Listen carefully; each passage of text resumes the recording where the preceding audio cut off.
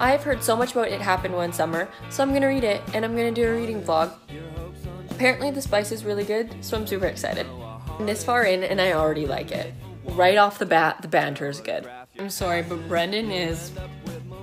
I really like the description of Westport and the town. I just think this is really good so far.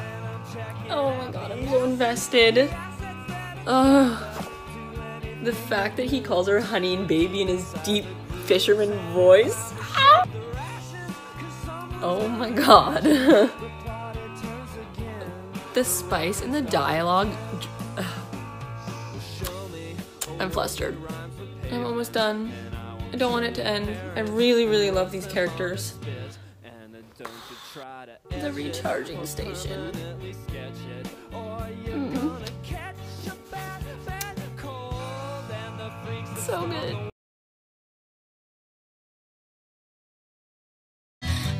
I bet you're sitting in your chair by the window, looking out at the city, and I bet you think about me when you say, Oh my god, she's insane. She wrote a song about me,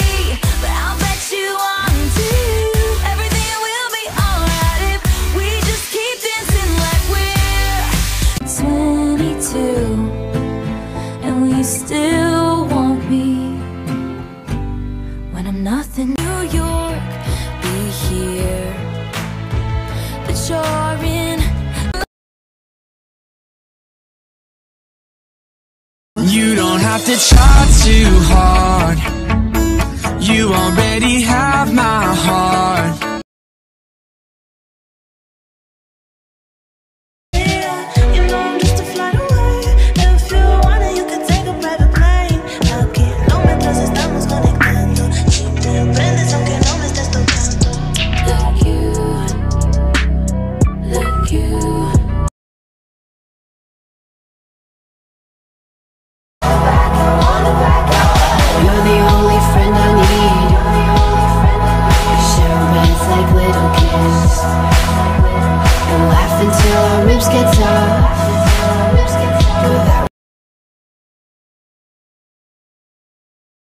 Only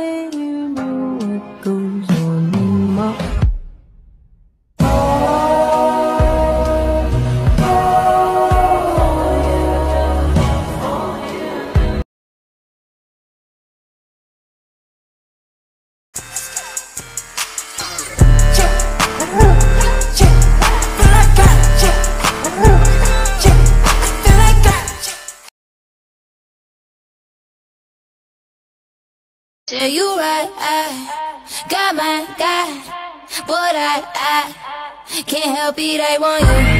I can't stop and look the other way, cause I know it could be, babe, and you never felt the same.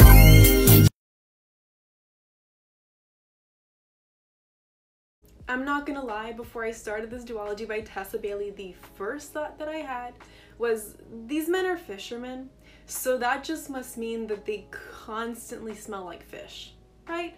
Um, reasonable thought process here. And that's fine, just not particularly for me. So I was like, "Mm, okay, whatever, we'll see. And then I got to about like 40 pages of book one, and I thought, smells of fish. Who said that? It was not me because these men are the elite men written by women. Both are five star reads. I highly suggest that you pick up It Happened One Summer and you pre order Hook, Line, and Sinker because they are fantastic.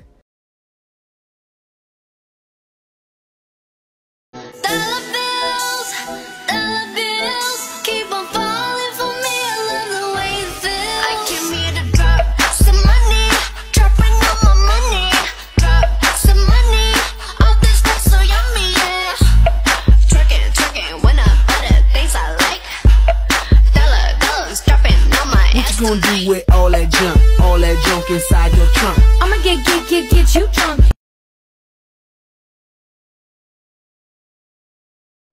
Maybe you should leave before I get too mean and take it out